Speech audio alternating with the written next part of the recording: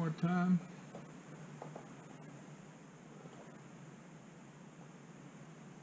Beautiful.